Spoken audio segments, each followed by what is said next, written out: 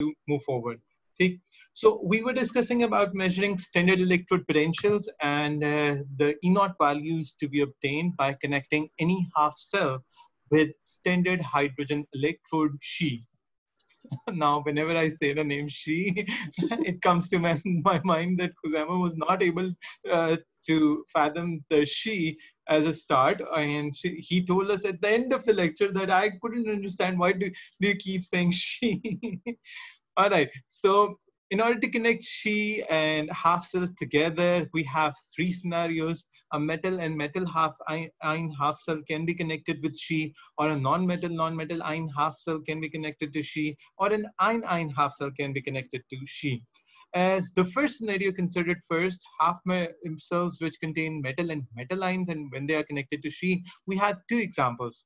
One with copper ion and copper half cell when connected to She. In this case, the diagram is given over here as we are supposed to go with the E standard value. So all the conditions are supposed to be at standard. For example, the copper ions are supposed to be one mole per decimeter cube solution and same goes for the hydrogen ions as one mole per decimeter cube solution. First part of standard rule. The then second rule was temperature to be standard that we can see here over here as 298 Kelvin.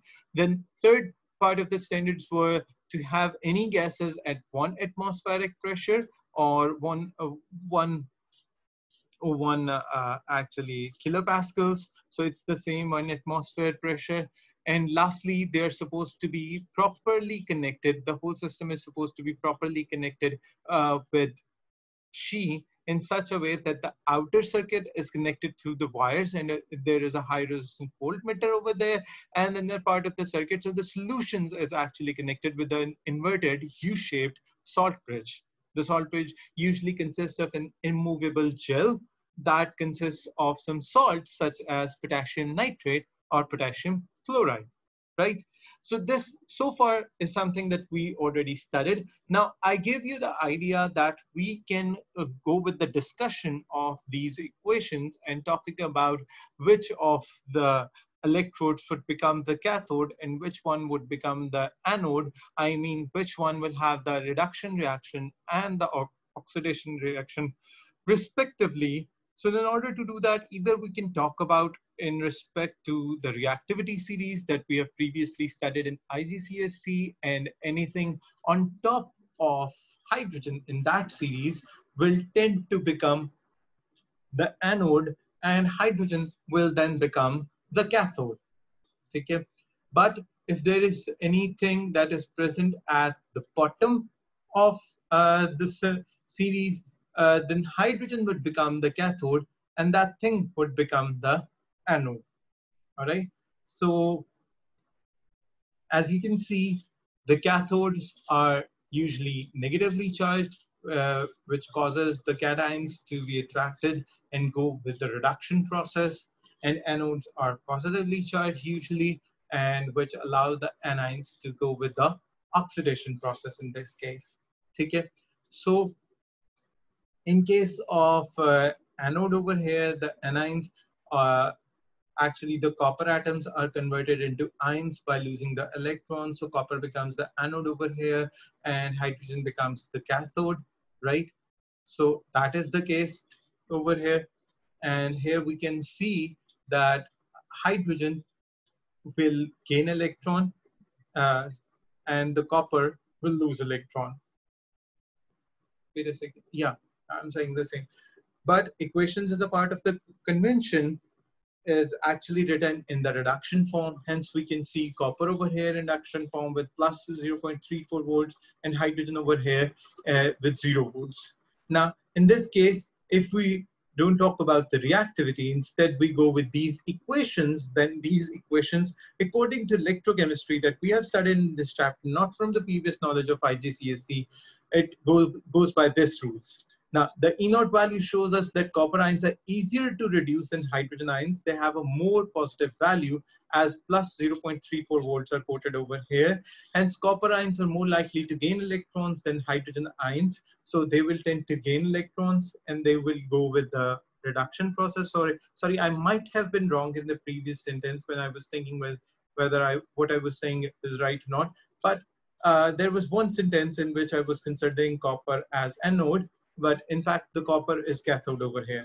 And the copper ions will accept electrons from hydrogen uh, ion hydrogen half cell and hydrogen will lose electrons and it would become the anode.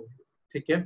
According to this, when we compare it with zinc, the zinc cell is also taken for all the standard condition. The zinc ions are present in one mole per decimeter cube concentration. The hydrogen ions are also present in the one mole per decimeter cube concentration to 98 Kelvin is the standard temperature. The hydrogen is present at a standard pressure of one atmospheric. And in this case, the case is somewhat reverted. As you can see, the values for uh, hydrogen and zinc are in such a way that hydrogen gives zero volt value for E standard and zinc gives minus 7, 0.76 volts for E standard. Then we can see from these values that zinc is difficult to reduce. So zinc won't go with a reduction process. It Instead, it would prefer the oxidation process and loss of electrons. So zinc is less likely to gain electrons than hydrogen ions and hydrogen are more likely to gain electrons than hydrogen tends to go with the reduction process here, over here. So zinc electrode will become the anode and hydrogen electrode will become the cathode and hence uh, this in this case the values for hydrogen 0 and zinc minus 0.76 helps us to consider which one's anode, which one's cathode, and how the process will proceed from one electrode to another. Okay. So in these examples, what do we get? We get reduction taking place at positive terminal of the cell in case of zinc ions, zinc and hydrogen cell, and oxygen taking place at negative terminal of the cell in this case. So we also get the idea he's giving the idea only for zinc over here so that you can also perceive the same thing in an opposite way as zinc cell is opposite to copper cell in this case, in the opposite way for the copper cell. Okay, are we clear so far with the example? Yes, sir. Yes, sir. Okay. That means you can, of course, do question number 12 uh, from the question part on your own. Okay, take a look at question number 12. Here we have iron ions and iron half cell, chromium ions and chromium half cell, silver, silver ions and silver half cell over here. And for all of these cells, you can of course write uh, both half cell equations over here for hydrogen and for silver or for chromium or for iron over here. And you can compare these uh, in order to understand the whole thing. Not just that, the C part of the question lists, uh, asks you to list all the necessary condition in each cell. And of course, for these cells, the conditions, all the conditions are not mentioned over here.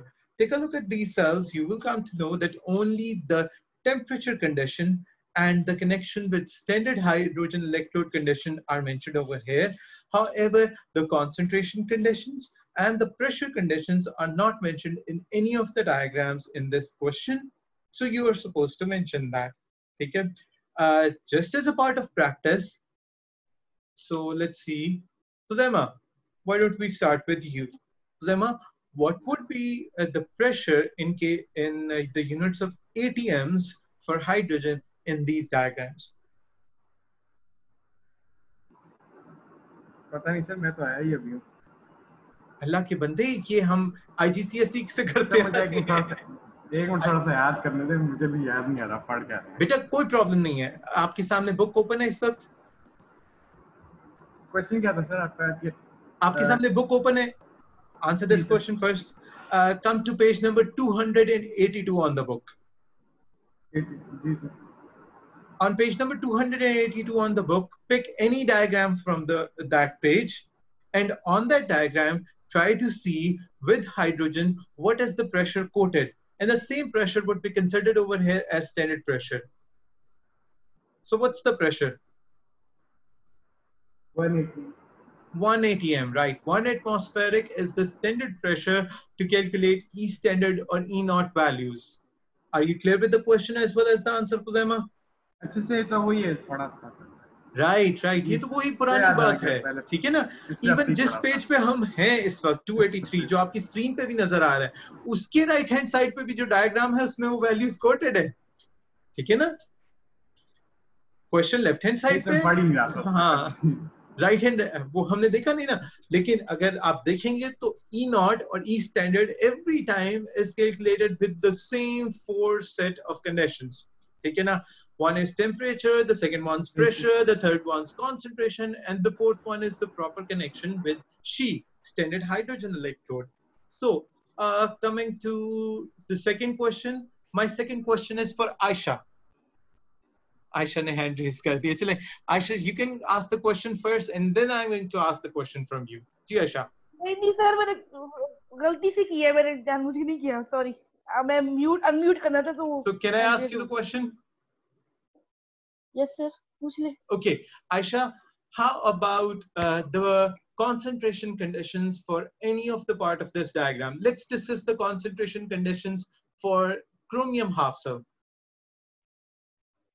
Um, what would be the concentration of chromium ions in this beaker on in the blue beaker?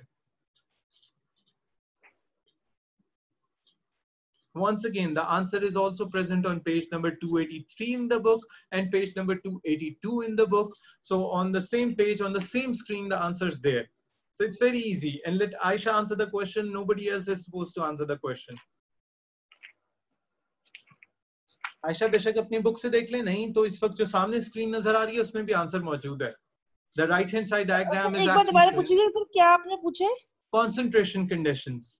what would be the concentration in the units of mole per decimeter cube for chromium solution in the system.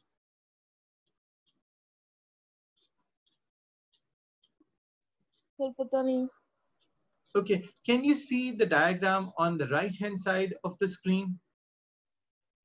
Yes, sir. What is the, so the uh, concentration in that diagram?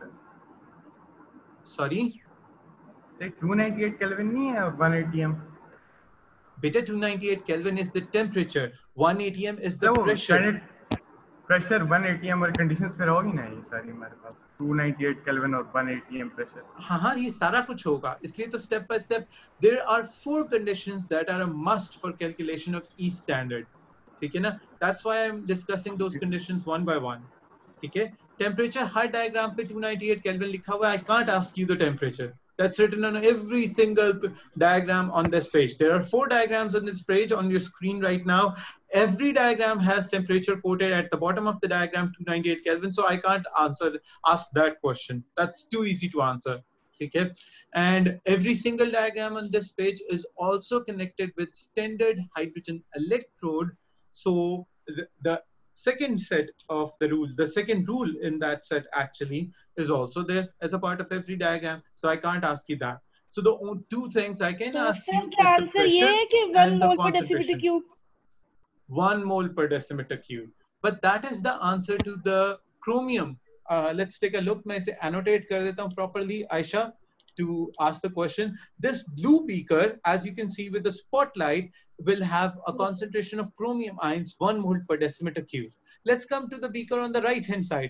What would be the concentration of H positive or hydrogen ions in the right hand side beaker? Aisha beta. तो उस- उनकी भी sir 1 मोल उसकी भी 1 मोल पर decimetre Very good.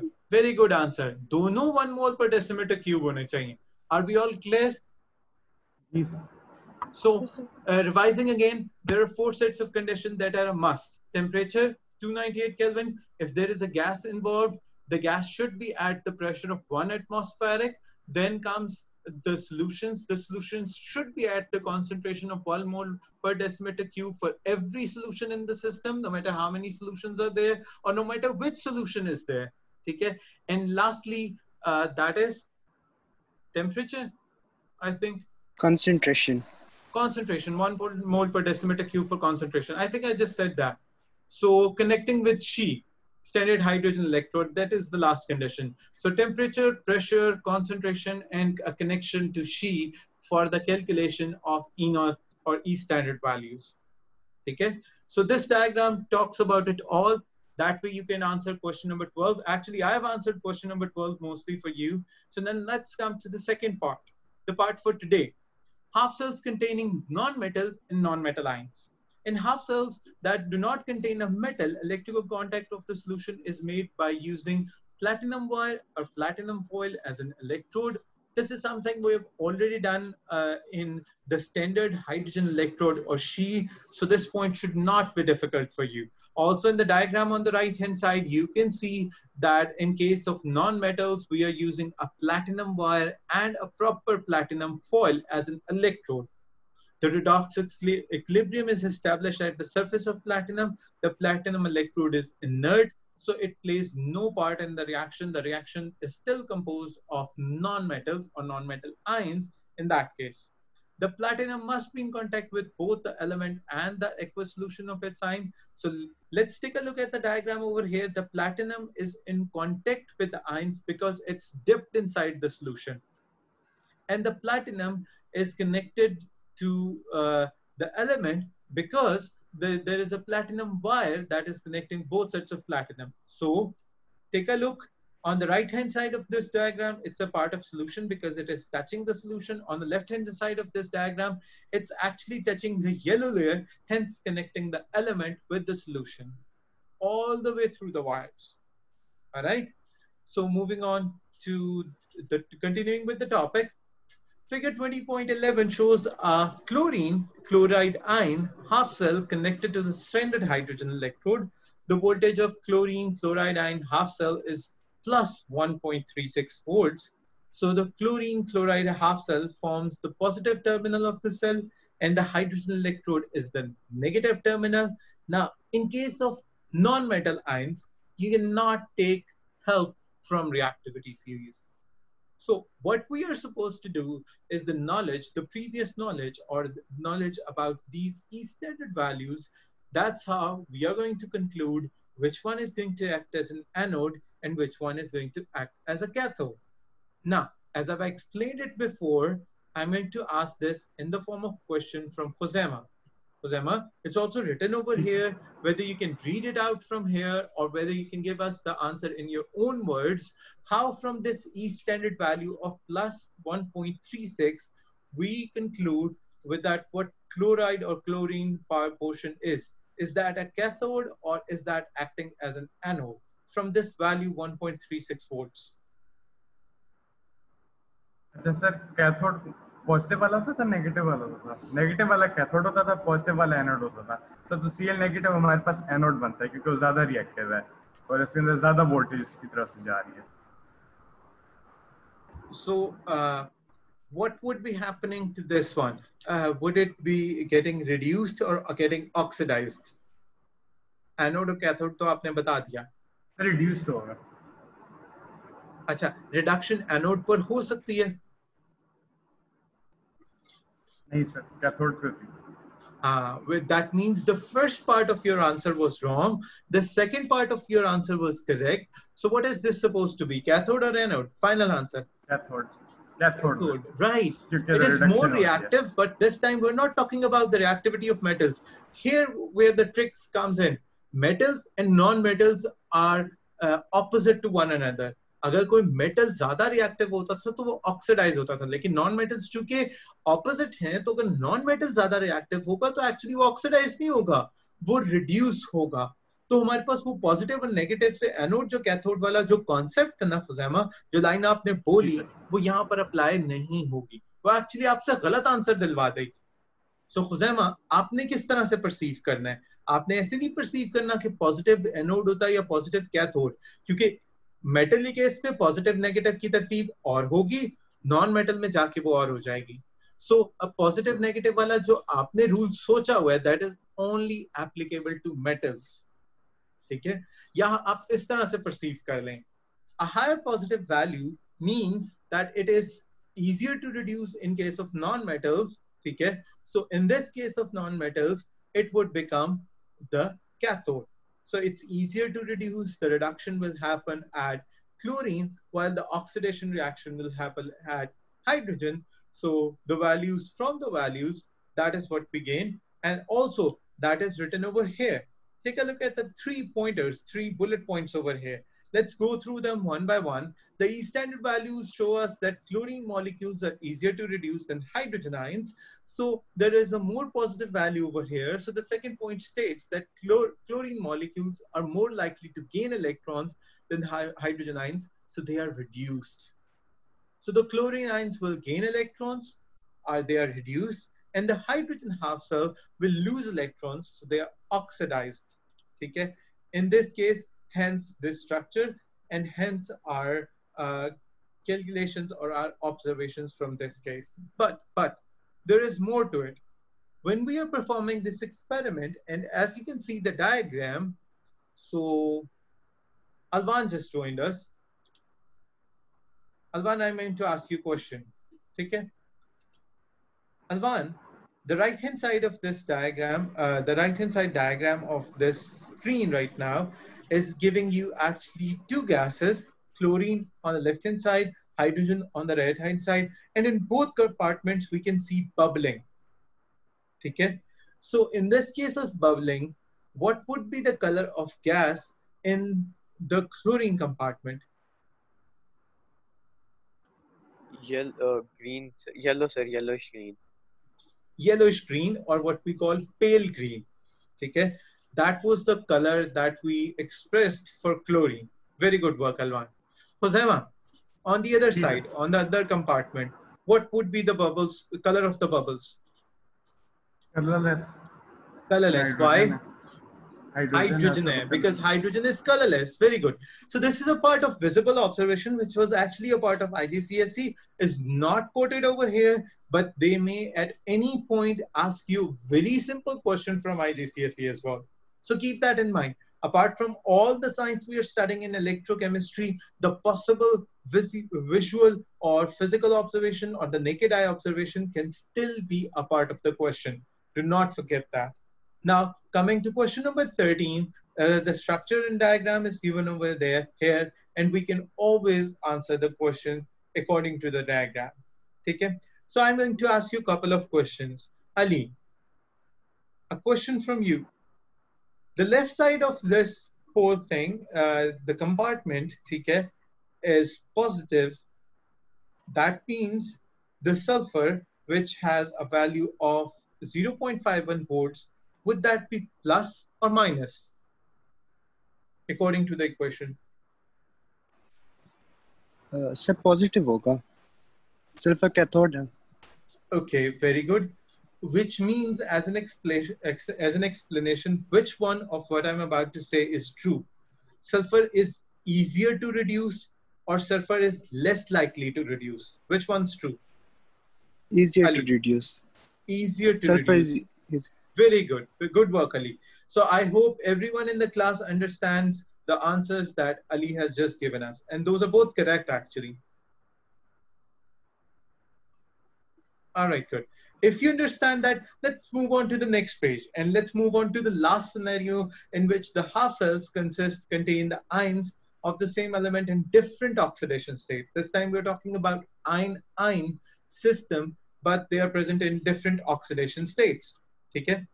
Half cells can contain two ions of different oxidation states derived from the same element. For example, a mixture of iron 3 and iron 2 ions can be used uh, to form half cells using a platinum electrode. But here I have a question for you guys. Let's ask the question from Roma. Roma, what was the color of iron 3 ions as we studied back in IGCSE? Brown.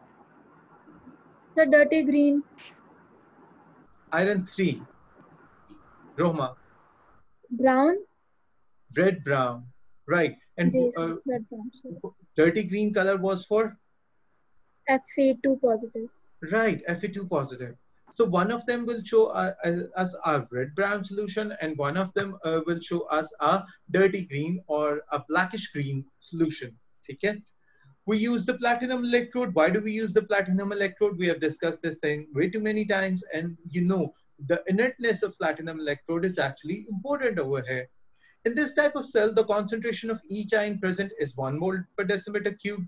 Uh, standard conditions, that's easier to understand. Uh, shows the setup for the cell. This figure shows the setup of the cell. Okay? Take a look. Now, at one point, we have one mole per decimeter cube solution of Fe3 positive and one mole per decimeter cube solution of Fe2 positive. So there is a mixed solution. Uh, and on the other side, they, we have connected it to She. Okay? Now, what would happen over here?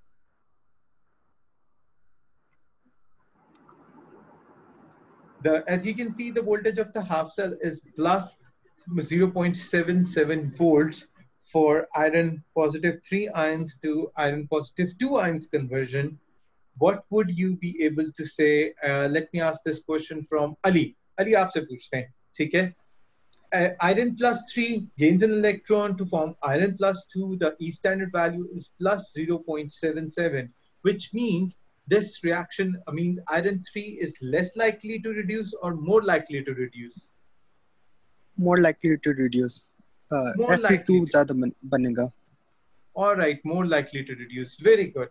Okay. Some reactions involves several ionic species. For example, manganese 4 ions reaction is given over here, which is done with potassium uh, manganate 7 or potassium permanganate, what we used to call it as a common name. So the H positive ions included, sorry, the H positive ions included because they are essential for the conversion of manganate 7 ions to manganese 2 ions. This is another experiment that we can perform. It will include, uh, half cells will include MnO4 positive and Mn2 positive ions in one part compartment of the half cell and the other one will contain H positive ions. And that, that compartment which contains MnO4 negative and MnO2 positive will also contain H positive ions as those are important for the conversion as mentioned above. Okay? So these three will be present over here. Take a look at the diagram and what I just told you, uh, the same thing is given on, on the diagram. On one compartment, we have manganate ions or Mn plus positive 2 ions and hydrogen ions because all of them are needed on one side. And on the other side, we have the pure sheet, I mean standard hydrogen electrode connected. Okay?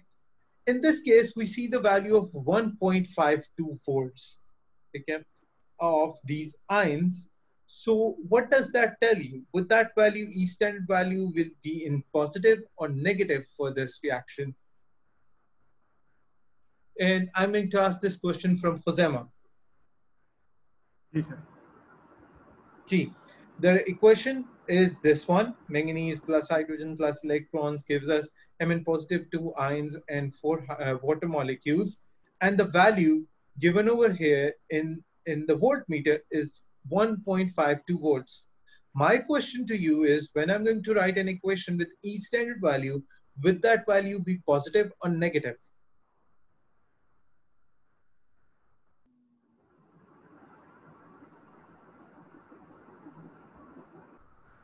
G. Positive Fazema. होगी sir positive Positive. okay then another question Fuzema from you if that value is positive and your answer is correct would that mean the manganate ions are easily reducible or not less likely to reduce or more likely to reduce less likely to reduce okay uh, क्योंकि ज्यादा voltage लगेगा understandable let's ask Roma Roma are you there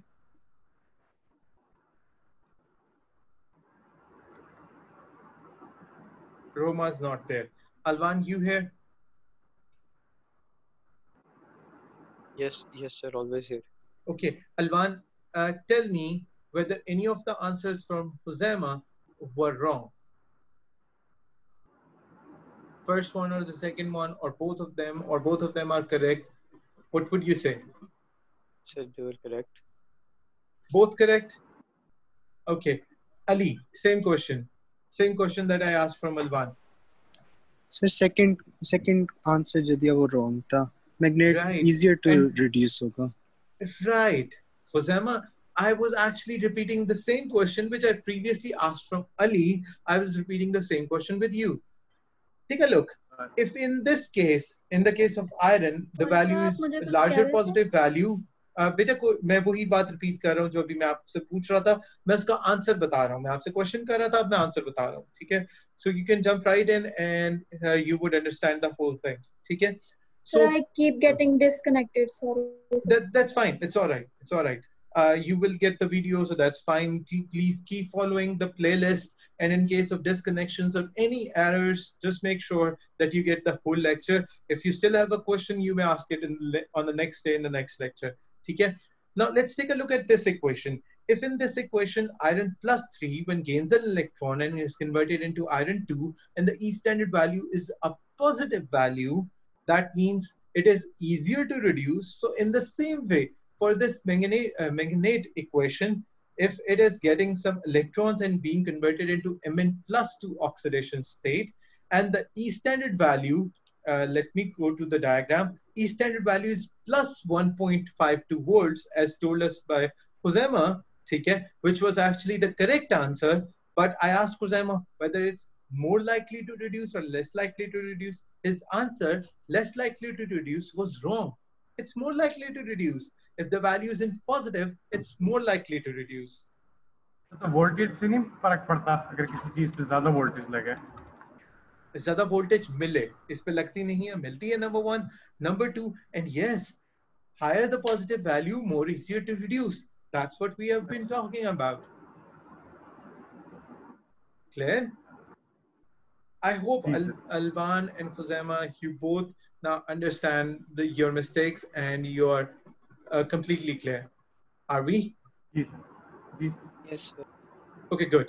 Uh, so, moving on to the next part, calculating complete E naught values or E standard values using E standard values to pre predict cell voltage. Now, in order to predict the entire voltage of cell, how many how many volts is this cell is going to produce? Because then we can actually market the cell, we can produce the cell, we can uh, sell the cell. I mean, we can actually sell it for a profit in terms of money.